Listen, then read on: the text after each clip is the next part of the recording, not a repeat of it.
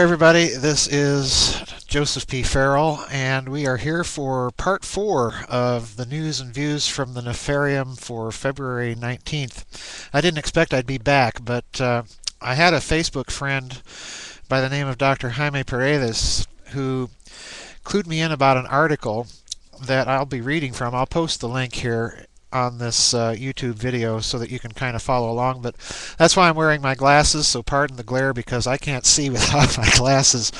So let me read this to you because I find this very interesting. Excuse me. The article says Chinese say they're building impossible space drive. Excuse me. And it goes on to say this. Chinese researchers claim they've confirmed the theory behind an impossible space drive and are proceeding to build a demonstration version. If they're right, this might transform the economics of satellites, open up new possibilities, excuse me, for space exploration, and give the Chinese a decisive military advantage in space.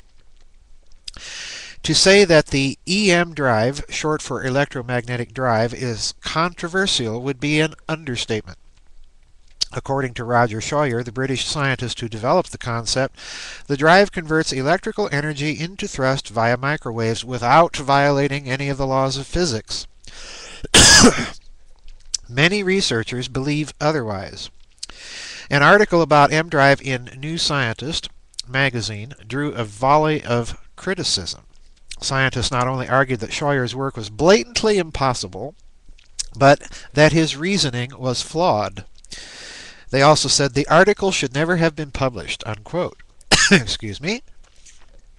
Now, uh, I find that interesting because, first of all, this article is two years old. It was first posted on September 24th, 2008. And what interests me is not so much the claim to the science behind it, but the dynamic that you see going on in the article. Because I want you to, to stop and just assume, for the sake of argument, that the technology being described here, this microwave space propulsion device, I want you to assume that the technology is valid, that it actually exists. Now, in point of fact, it does actually exist because I just posted a paper on the website in my members only area describing some of this technology, which incidentally, and here comes the curveball, dates from the 1950s, all right? So now let's look at this again. We have a claim by Communist China that they're de developing this electromagnetic space drive based on microwaves. We have a counterclaim published in New Scientist magazine, which is one of the standard scientific organs, media organs of the Western scientific establishment, saying, no, it doesn't exist.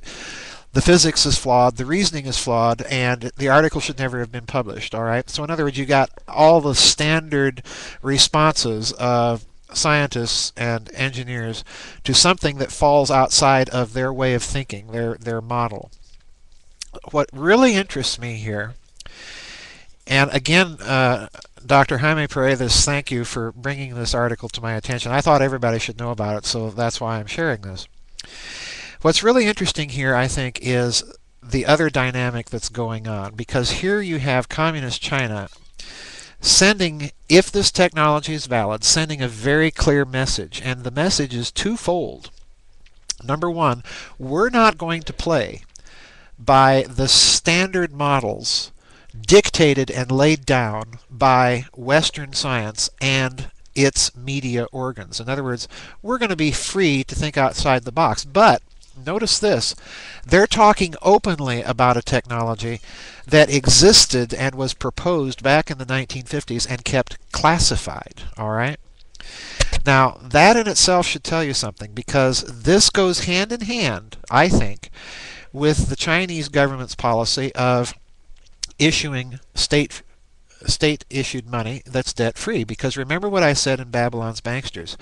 You have essentially two economic policies and you have two views of physics. One view of economic and physical policy is that the system is closed all right? And the other is that it's open. So China is in a certain sense following almost the identical same course that Nazi Germany followed both in terms of its scientific research and in terms of its uh, economic policy.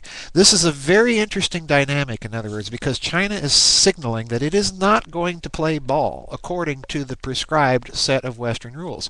And they're discussing this technology. I mean, my word, you can see that they're even showing you a picture of this alleged technology. So they're saying we're not playing ball.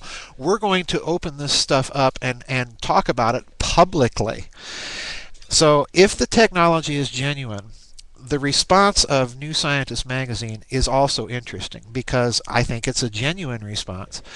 But notice that the the arguments advanced for for a refutation of this idea is that there are no arguments other than the reasoning is flawed, but we don't know what the flaws are according to this article, which doesn't review the reasons.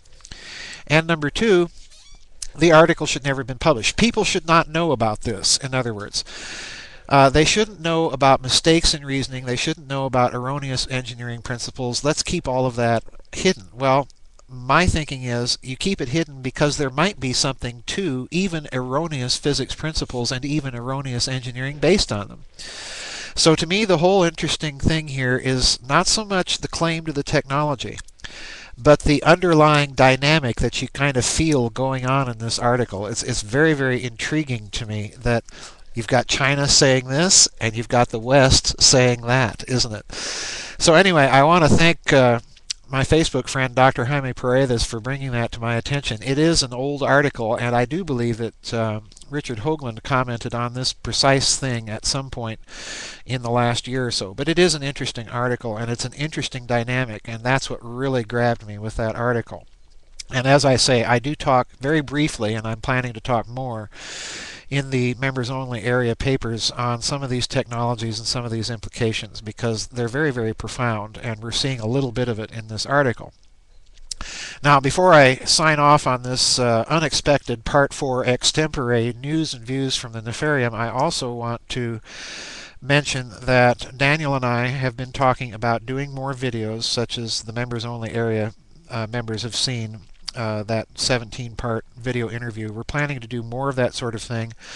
We're trying to get some of the technological bugs worked out in addition to doing those video text chats that, that we've planned for the next couple of months. So I wanted everybody to know that and to bear with me. I have posted uh, just today a couple of more papers in the members only area, some very short papers on some technological and uh, hidden history things that I think might be of interest to the members. So anyway, that's the news and views part 4 from the Nefarium for February 19th, 2011. I am Joseph P. Farrell, and I will see you all on the flip side. Bye.